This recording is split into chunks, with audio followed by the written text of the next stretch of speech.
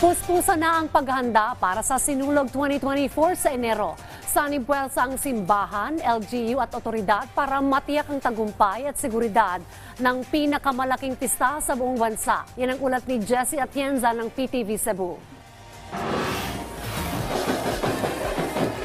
Dalawang buwan na lang mula ngayon, dadagundong na naman ang tunog na pamilyar sa karamihan.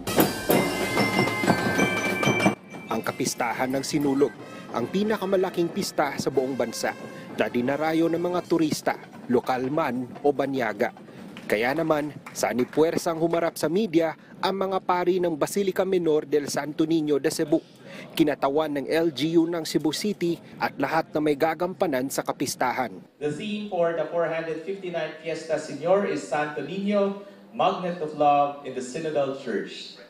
The attribute given to the Holy Child reflects our Lord as the center of our faith, hope, and love as we journey together as people of God. Nagpahayag din ng kanilang suporta ang iba't ibang ahensya ng uniformed personnel sa pagtiyak na ligtas at matiwasay ang serye ng mga aktibidad sa kapistahan, lalo na ang fluvial parade na susundan ng solemn foot procession at ang grand parade na tiyak na daragsain ng pinakamaraming tao.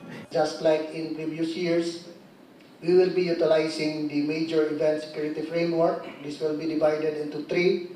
Uh, the task group security, peace and order, and of course, very important is the emergency preparedness. Uh, this will be a multi-agency platform that we hopefully will be uh, supportive to all security arrangements that will be made in connection with the 459 Fiesta Senior.